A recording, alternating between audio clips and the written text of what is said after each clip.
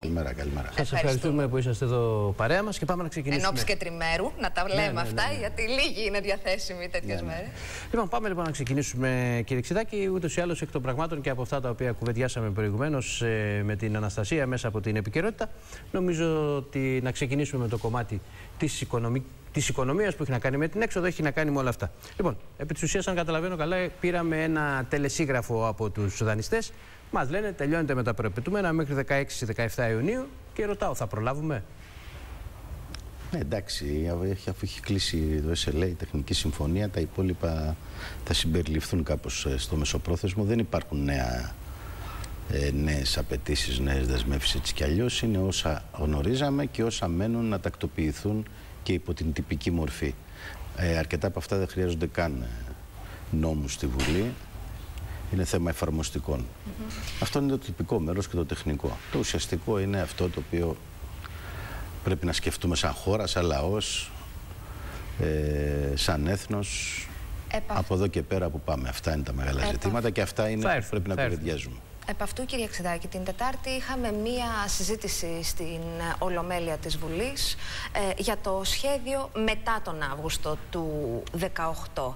Θεωρείτε ότι πείσατε τον ε, κόσμο με το ολιστικό αυτό αναπτυξιακό σχέδιο που παρουσιάσατε; Ε, κοιτάξτε, καταρχάς η συζήτηση κατά τη γνώμη μου ήταν μάλλον φτωχή σε επιχειρηματολογία και ανάλυση και οραματικό λόγο από τις ε, πολιτικές δυνάμεις για την ε, νέα εποχή που έχουμε μπροστά μας. Υπήρχε κατατεθειμένο το, το σχέδιο ανάπτυξης της κυβέρνησης όπως συζητήθηκε με τους ε, δανειστές ε, αλλά η συζήτηση πάνω σε αυτό ήταν ελάχιστη. Τα κόμματα της αξιωματικής αντιπολίτευσης, ακόμα και η κυρία Γεννηματά που προκάλεσε αυτή και ορθώς προκάλεσε αυτή τη συζήτηση, δεν είχε ουσιαστικές παρατηρήσεις και ε, ξέρω εγώ, κριτική, προτάσεις για βελτίωση, ε, αντεπιχειρήματα. Ε, ήταν μάλλον, μια μάλλον φτωχή και μάλλον μια συζήτηση πάλι με πυροτεχνήματα πολιτικού Κοινωνικού. χαρακτήρα. Αυτό έχει να Φύγε κάνει. εσύ να έρθω εδώ, Αυτή είναι η να άποψή κάνουμε σας. αυτό, απέτυχες, να κάνουμε εκλογές. Αυτή είναι η άποψή σας, Νομίζω ότι δεν, δεν, ενδια- δεν ενδιαφέρει τον κόσμο, δεν ενδιαφέρει Πάμε τους στην ανθρώπους ουσία που μας λοιπόν να δούμε λίγο παρακολουθούν. αυτά που ενδιαφέρουν και τον κόσμο, γιατί η καθαρή έξοδος ε, με επώδυνες ε, δεσμεύσεις έως το 22 θα συμβαδίζουν. Το ερώτημα λοιπόν είναι αυτό το οποίο μας έρχεται, είναι για να πανηγυρίζουμε, είναι για να προβληματιστούμε; Ποια είναι η συνταγή, πού πάμε; Ε, κοιτάξτε, αυτά τα οποία έχουμε υλοποιήσει και αυτά τα οποία καλούμαστε ακόμη να υλοποιήσουμε είναι ασφαλώς επώδυνα και κάποια από αυτά εξα- θα εξακολουθούν να παράγουν ε, ύφεση. Δυστυχώς. Ε, δεν υπάρχει ούτε η κατανόηση ούτε ο συμμερισμός εκ μέρους κυρίως των ε, βορείων γειτόνων στην Ευρωπαϊκή Ένωση, των μεγάλων παικτών ε, έχουν άλλη λογική. Είναι ε, οικονομίες πλεονασματικές, είναι οικονομίες ε, καλά τοποθετημένες και στο ευρωπαϊκό πλαίσιο και στο παγκόσμιο καταμερισμό με εξαγωγές επιθετικές. Ε, υπάρχει μια διαφορά ταχυτήτων μέσα στην Ευρώπη, η οποία αποτυπώνεται πια και στα πολιτικά κείμενα, γιατί η συζήτηση πια εδώ και ένα χρόνο τουλάχιστον ε, διατυπωμένη επισήμως από την Επιτροπή και τον Πρόεδρο της Επιτροπής είναι ότι πάμε σε μια Ευρώπη πολλών ταχυτήτων.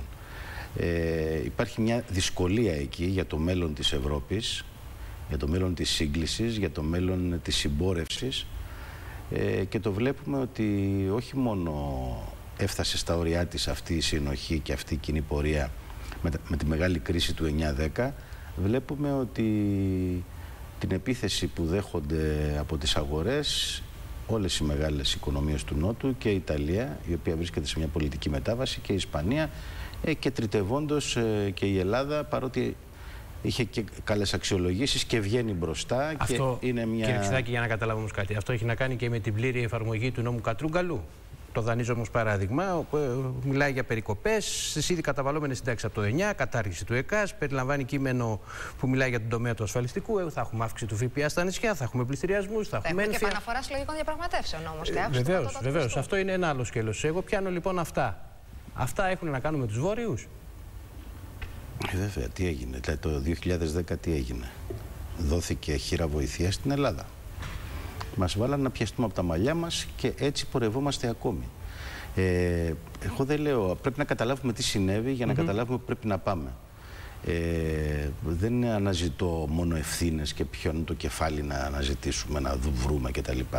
Είναι ότι μπήκαμε σε μια μεγάλη περιπέτεια η οποία δεν θα τελειώσει εύκολα και χρειάζεται να βγάλουμε τα διδάγματά μας, να αντιλήσουμε εμπειρία από αυτό που μας συνέβη και να προχωρήσουμε μπροστά.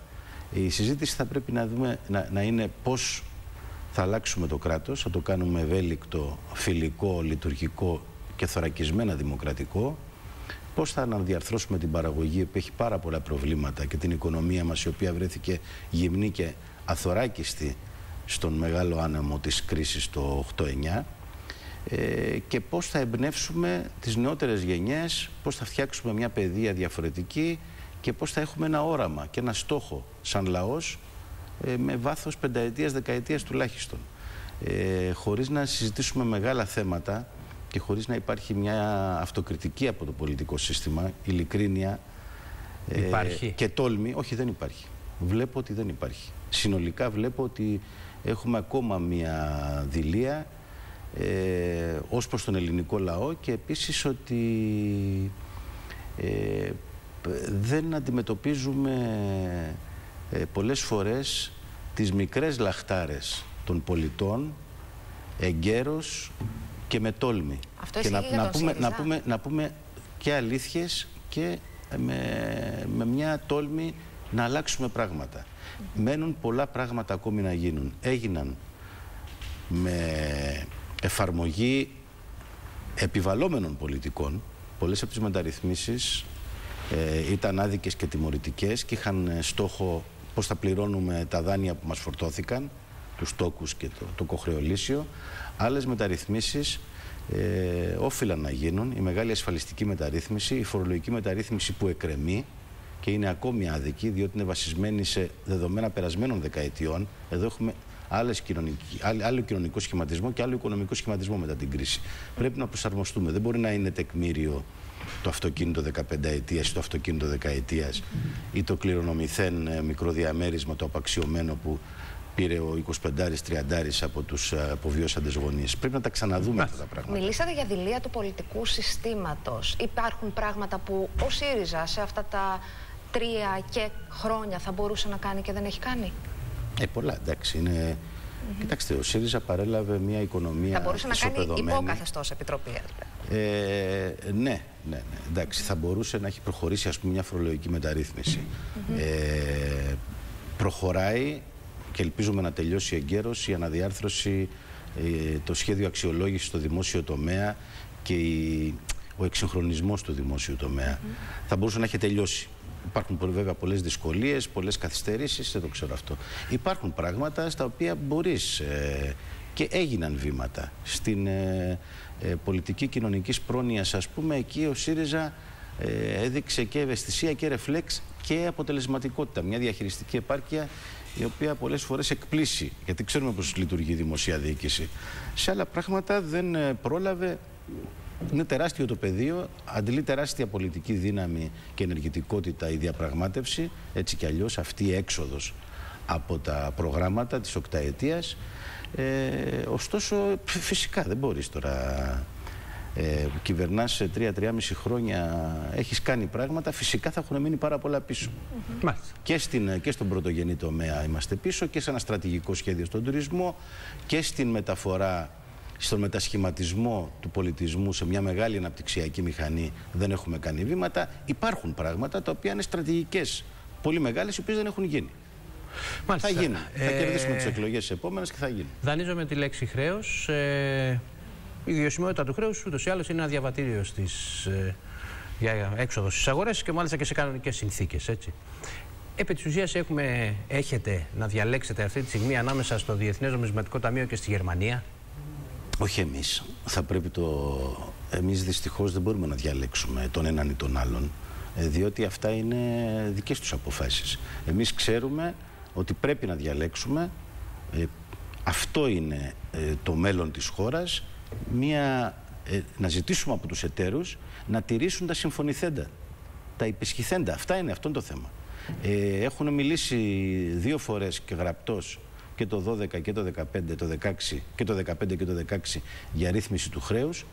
Αυτό είναι το, το ζητούμενο και αυτό είναι το οποίο το μόνο σοβαρό το οποίο λέει το Δούνου του από το 2010 είναι μια σοβαρή ρύθμιση του χρέους. Δηλαδή να εφαρμόσει ένα από τα εργαλεία το οποίο τα εφαρμόζει τα ναι, τελευταία 60-70 χρόνια. Ο Γερμανός, ο Υπουργός Οικονομικών, με τίτλο κιόλας σε άρθρο του το δίλημα του Σόλτς με την Ελλάδα και λέει: Από τη μία πλευρά θέλει να συμμετάσχει το Διεθνές Νομισματικό Ταμείο. Αλλά χωρίς τις απόψεις του, χωρίς το πρόγραμμά του. Να το πω και να διαλέξετε. Από τη μία πλευρά λοιπόν θέλει να συμμετάσχει το Διεθνές Νομισματικό Ταμείο με κεφάλαια στο ελληνικό δανειακό πρόγραμμα. Ο κ. Σόλτς τα λέει. Από την άλλη πλευρά δεν είναι διατεθειμένος να δεχθεί τις απαιτήσεις του Διεθνέ Νομισματικού Ταμείου. Εμείς τι διαλέγουμε; Μα, εντάξει τώρα, αυτό είναι η η εσωτερική πολιτική της Γερμανίας. Ναι, η Γερμανία έχει εκλογές στη Βαβαρία, φοβάται ο κυβερνών σχηματισμός μήπως έχει διαρροές στη Βαβαρία, θα την πληρώσει η Ελλάδα, θα την πληρώσει η Ευρώπη και κυρίως θα την πληρώσει η αξιοπιστία αυτού του ευρωπαϊκού συστήματος, το οποίο ε, έχει συνομολογήσει και η Κομισιόν και ο μηχανισμός, ο Ευρωπαϊκός Μηχανισμός Σταθερότητας και το Δουνουτού και το σχέδιο Μακρόν, το οποίο του δώσει το πολιτικό περίβλημα και μια πολιτική ορμή, ότι να συνδέσουμε την αποπληρωμή του χρέους με τους ρυθμούς ανάπτυξης. Το οποίο είναι ένα απολύτως λογικό και έχει εφαρμοστεί στο παρελθόν με άλλους τρόπους και σε άλλες διεθνείς περιπτώσεις. Έχουμε μια Γερμανία η οποία τσιγκούνικα και με μια πολιτική φιλαργυρία πολύ τυπική ε, απαιτεί οτιδήποτε συμβεί σε ευρωπαϊκό επίπεδο ή σε ένα άλλο έθνος να αποφασίσει το δικό της κοινοβούλιο και μάλιστα γιατί το βλέπουμε αυτό τώρα, να αποφασίσει με βάση την εσωτερική πολιτική συγκυρία. Ναι, αλλά αν, αν, αν, σε κάποιο κρατήδιο δεν πάει καλά η εκλογή, είναι αδιέξοδο αυτό. Όπως, είναι αδιέξοδο. Όπως το περιγράφετε όμως, αποφασίζουν αυτοί για μας. Ε, έχει, έχει συμβεί αυτό. Και αυτό είναι και, το, και η πολιτική σύγκρουση που γίνεται εντός της Ευρώπης. Αυτό το νόημα είχε το πρόγραμμα Μακρόν για μια Ευρώπη που προχωράει ένα βήμα μπροστά συλλογικά ε, και είδαμε την ε, χλιαρή έως ψυχρή αντιμετώπιση από το Βερολίνο. Πάμε τώρα στο μακεδονικό, κύριε Ξεδάκη. Είδαμε ότι την περασμένη εβδομάδα ναυάγησε το Δημοκρατία της Μακεδονίας του Ήλιντεν. Είχαμε όμως ε, την ε, συνάντηση μεταξύ Δημητρόφ, Κοτζιά και Νίμιτς στον ε, ΟΗΕ. Έχουν ήδη χαθεί τα χρονοδιαγράμματα που είχαν τεθεί στην αρχή. Εσείς βλέπετε έτσι προοπτική επίλυσης από τη μία και από την άλλη βλέπετε έτσι και τη βούληση εντός της χώρας. Διάβαζα πριν στα sites ότι προετοιμάζονται νέα συλλαλητήρια. Κοιτάξτε, ε, είναι πολλές ερωτήσεις. Καταρχάς, ε, την ονομασία του Ήλιντεν δεν την έθεσε ποτέ η ελληνική πλευρά ε, ετέθη από τους γείτονες, ετέθη από τα Σκόπια, ε, φαίνεται ότι έπεσε στο τραπέζι ε, και κάηκε με το που ε, συνέβη η διαρροή. Συζητήθηκε και κάηκε. Αυτή είναι η ε, λογική σειρά. Έπεσε στο τραπέζι. Ναι. Στο τραπέζι πέφτουν πάρα πολλά πράγματα. Δεν, ούτε τα μαθαίνουμε όλα και ούτε χρειάζεται να τα μαθαίνουμε. γίνονται συζητήσεις για να προχωρήσεις ε, και να συναντηθείς. Λέτε ότι μπήκε για να καεί, δηλαδή. Ε, ο, ο, ο τρόπος που ετέθη ε, με τις διαρροές από τα Σκόπια και από έναν Βούλγαρο Υπουργό δείχνει ότι ήταν ένα γρήγορο πράγμα για να καεί, να τελειώνει. ε, δεν ξέρω, δεν νομίζω πάντως ότι βλάπτει συνολικά την, ε, τη συζήτηση. Ε, και επίσης δεν νομίζω, γιατί είπε η κυρία Γιάμαλη ένα πολύ ενδιαφέρον, ότι ετοιμάζονται νέα συλλαλητήρια. Δεν μπορείς να ασκείς εξωτερική πολιτική υπό την πίεση συλλαλητηρίων ε, και μάλιστα συλλαλητηρίων τα οποία ε, ο λόγος τον ο οποίος ακούγεται σε αυτά τα συλλαλητήρια από κάποιους ομιλητές είναι τουλάχιστον ακραίος ε, και συχνά είναι εμπριστικός και αδιέξοδος.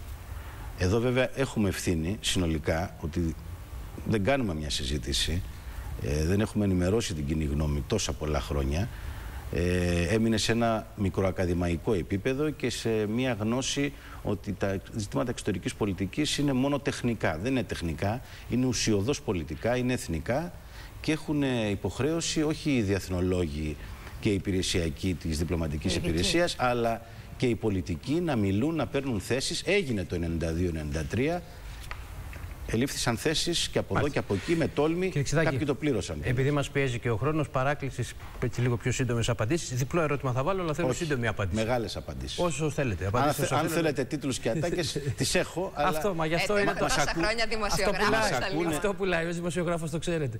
Μας ακούνε, μας ακούνε πολίτες οι οποίοι μας αφιερώνουν λίγο από τον πολύτιμο χρόνο του Σαββατιάτικου πρωινού ε, και θα πρέπει να ζητούν και εμείς να προσφέρουμε κάτι παραπάνω από ατάκες. Όλος ο λοιπόν... πολιτικός διάλογος, θα μου επιτρέψετε αυτό, γίνεται με ατάκες μεταξύ ιδρυματισμένων πολιτικών και ιδρυματισμένων πολιτικών συντακτών, οι οποίοι συχνά αγνοούμε τις λαχτάρες, τις αγωνίες και τις κουβέντες. Ελπίζω ότι δεν μας εντάσσετε σε αυτούς. Προχωράω. Όχι, το λέω και για μας και εμείς πρέπει να το αλλάξουμε. Μπράβο. Λοιπόν, πάω λοιπόν. Γιατί τόσο μεγάλη βιασύνη από εμάς σε σχέση με την ε, ονοματολογία του Σκοπιανού, απ' την άλλη γιατί τόσες πιέσεις προς την πλευρά μας. Οι πιέσεις ε, ή οι παρενέσεις, για να το πω κομψά, ασκούνται προς όλες τις κατευθύνσεις και από πολλές πλευρές. Αυτό που πρέπει να δούμε εμείς είναι όχι αν μας ασκούνται πιέσεις, αλλά ποια είναι τα δίκαιά μας και ποια είναι τα συμφέροντά μας.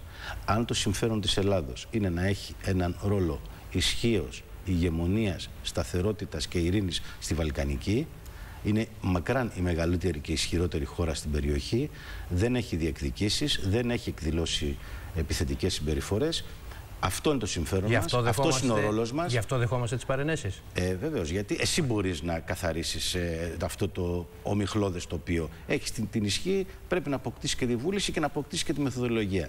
Ε, τα έχουμε αυτά. Ποια είναι τα συμφέροντά μας μακροπρόθεσμα, να είναι μια βαλκανική σταθερή, να έχουμε ε, σταθερά και ειρηνικά και ανοιχτά σύνορα, να έχουμε καλές εμπορικές σχέσεις, να έχουμε καλές πολιτιστικές σχέσεις, να συζητούμε με τους ε, γείτονες ε, της ε, πρώην ε, Ιουγκοσλαβικής Δημοκρατίας της Δημοκρατίας, να συζητούμε με, με, την Αλβανία, να συζητούμε με τη Βουλγαρία, να έχουμε καλές σχέσεις, να είναι ανοιχτά τα ποτάμια, να μην έχουμε προβλήματα με τα νερά. Αυτά είναι. Και είμαστε μια χώρα που έχει πολλαπλάσιο ΑΕΠ, που έχει χιλιαπλάσια στρατιωτική ισχύ, που έχει εκα, εκατομμύρια φορές ένα ισχυρό brand name και μια ακτινοβολία και ένα γόητρο διεθνές, είμαστε, έχουμε, έχουμε μάλλον, να το πω ας πούμε λίγο απλουστευτικά, έχουμε μεγαλύτερη ιστορική ευθύνη σε αυτή τη γειτονιά από, ό,τι έχει, ε, από ό,τι έχουν τα Σκόπια. Η Αθήνα είναι η Αθήνα. Μαζί με την Ρώμη και την Ιερουσαλήμ, ο Πολ Βαλερή τους έθεσε στο επίκεντρο της Ευρώπης. Ε, εμείς έχουμε περισσότερη ευθύνη και ως προς τους εαυτούς μας, προς την ιστορία μας. Θέλω να πάμε λίγο στο θέμα των ε, συμμαχιών, αν δεν έχετε αντίρρηση. Μπορεί εχθές ο Πρωθυπουργός να έβαλε έτσι τέλος στα σενάρια περί εκλογών, τοποθετώντας τα το φθινόπωρο του 19, τοποθετώντας τις. Ήδη έβαλες στο πρώτο ερώτημα, με συγχωρείτε, Αναστασία. πάμε για εκλογές το. Τότε. Τότε, Οκτώβριο του 19. Κοιτάξτε, οι εκλογές ε, είναι και λιγάκι σαν το φλιτζάνι. Ε, medium, ας πούμε. Λέει κάτι η πυθία, κάποιοι το ερμηνεύουν διαφορετικά. Αυτό που γνωρίζουμε είναι ποια είναι η συνταγματική πρόβλεψη, ε, το πλαίσιο. Ξέρουμε ότι ο ανώτατος ε, άρχον και ο τελικός κριτής είναι ο εκλεγμένος πρωθυπουργός. Και το, το τελευταίο, αλλά ίσως μείζον, είναι η κατάσταση στη χώρα και τα εθνικά συμφέροντα.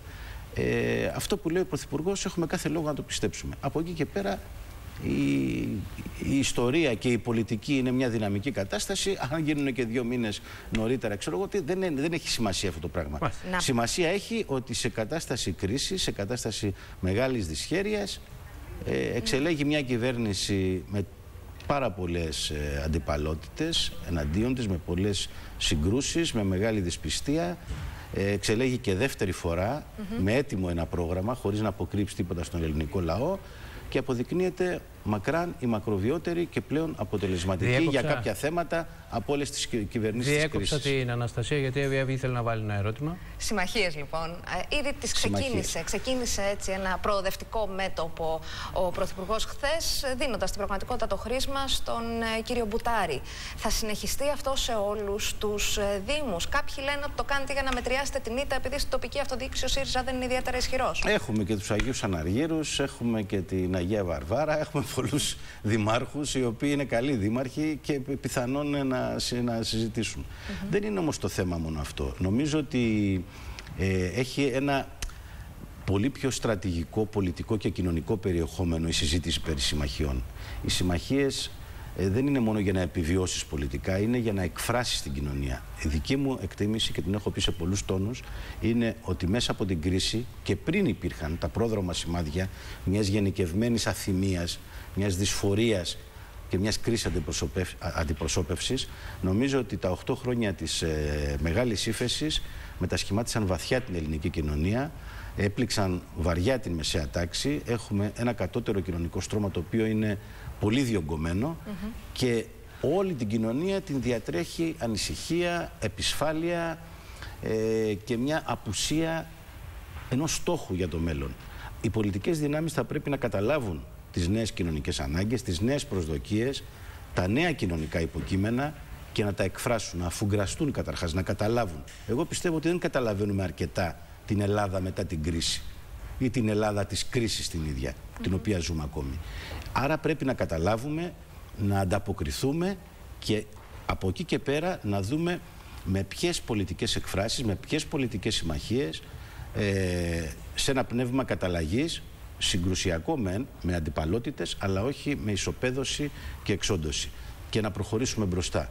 Υπάρχει, αν το δούμε ας πούμε από τη, συνολικά από την ε, πολιτική έρευνα και τα αποτελέσματα 40 χρόνων μεταπολίτευσης, υπάρχει ένα μεγάλο σώμα πλειοψηφικό από 52-60% που είναι αριστερά και κέντρο. Αυτό διαρκώς είναι μπροστά. Και, στις, ε, και στον επόμενο χρονικό, στον ορίζοντα που έχουμε το χρονικό, ε, μια προοδευτική πλειοψηφία είναι δυνατή.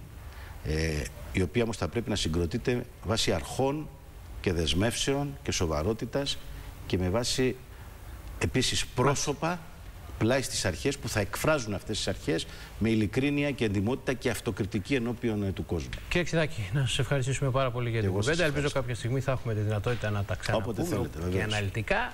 και όχι με πολλές ατάκες. Θα, θα ε, οι ατάκες πουλάνε, αυτά ξέρετε. Και, και, όχι, δεν πουλάνε μόνο, πουλάνε και λίγο οι, οι απρόοπτες μη ατάκες. Ναι, και αυτό έχει την αξία. Είναι, έχουμε, έχουμε και παιδαγωγικό ρόλο και ευθύνη απέναντι στον κόσμο. Ήταν μια σε βάθος κουβέντα και αρκετά γόνιμη, νομίζω. Σας ευχαριστώ πάρα πολύ. Και εμείς. Να είστε καλά και